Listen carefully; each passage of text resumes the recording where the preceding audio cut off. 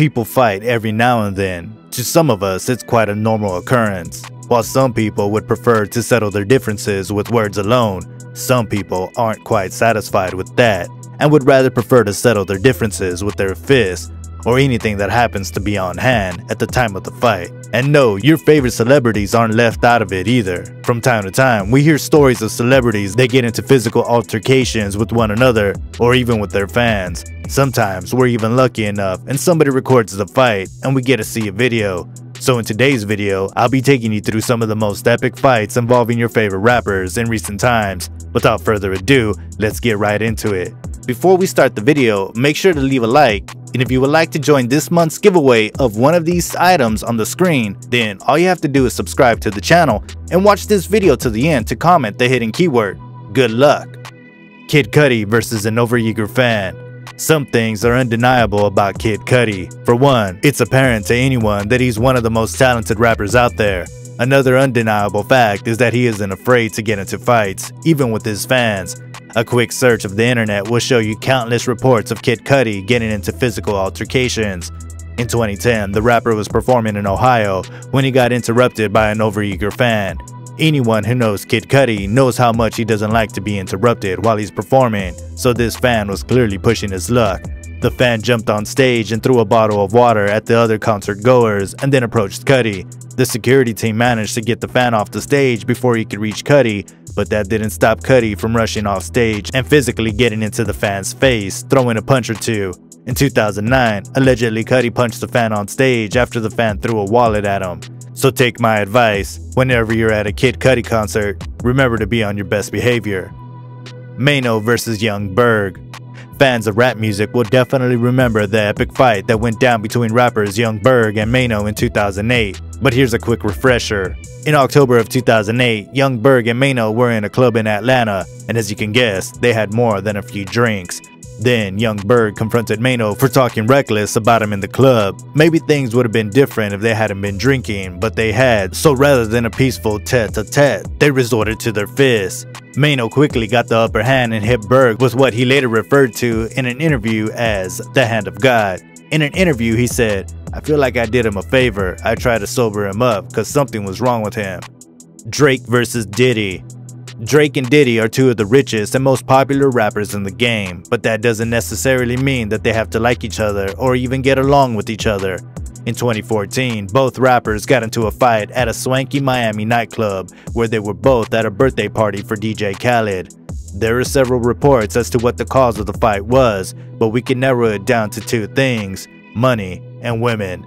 Numerous sources claim that Diddy felt disrespected after Drake used his music without proper rights, and other sources claim that the fight was because an intoxicated Drake made a nasty comment about Diddy's then girlfriend, singer Cassie Ventura. Around 4 a.m., Diddy security walked over to Drake's table and let him know that Diddy wanted to speak to him outside, and Drake obliged with his entourage in tow. Once outside, an argument broke out between the rappers, which quickly turned into a fight, which is not at all surprising if you consider the fact that both rappers had more than a few drinks at that party. Sources at the venue confirmed the fight, saying that Diddy clearly had the upper hand and punched Drake at least three times. The fight then ended with Drake having to go into the hospital, and there were several rumors that he had dislocated his shoulder in the fight. Drake isn't a stranger to club fights about women, as his famous fight with Chris Brown in 2012 will always be fresh on our minds. Rick Ross versus Young Jeezy. This is one of the most epic fights on this list because it was more of a brawl than a fight. What really happened? Well, Rick Ross and Jeezy had previously been in the middle of a beef, which is not at all that uncommon in the music industry if this list is anything to go by.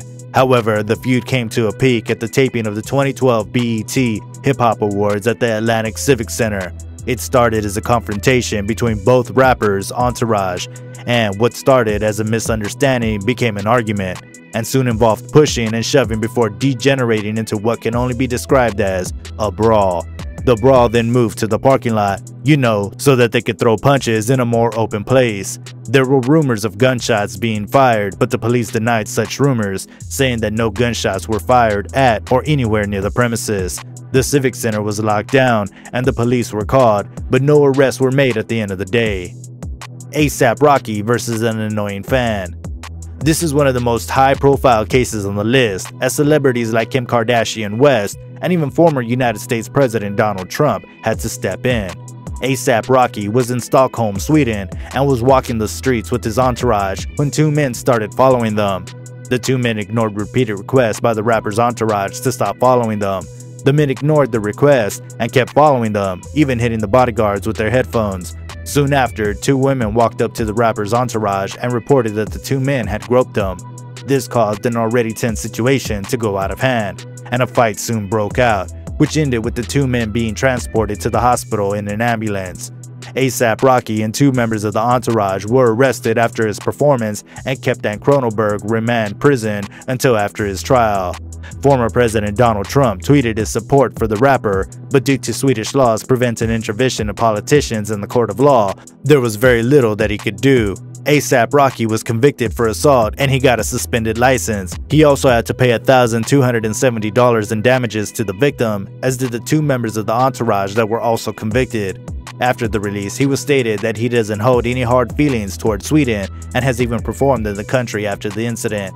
Drake vs. Chris Brown on June 14, 2012, Drake and Chris Brown made headlines as the two found themselves at the center of a melee that led to multiple patrons being injured and thousands of dollars in property damage.